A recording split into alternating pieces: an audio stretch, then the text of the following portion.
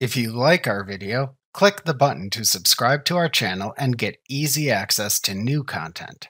To see our full suite of ad-free video courses, instruction manuals, and quick reference guides, visit us at www.teachucomp.com. You can leave the Easy Step interview at any point after you have saved the company file by clicking the Leave button in the lower left corner of the Easy Step interview.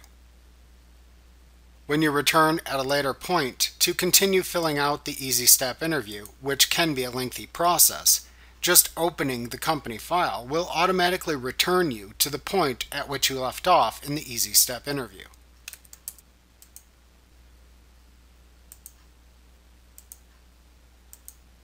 However, once you have completed the Easy Step interview, you cannot return to the Easy Step interview again. From that point on, you can only change the default preferences of the program by selecting Edit, Preferences from the menu bar, and then changing the settings shown within the Preferences dialog box.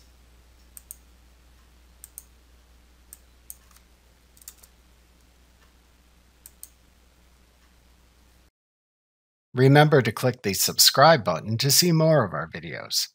See our full suite of courses, instruction manuals, and quick reference guides at www.teachucomp.com.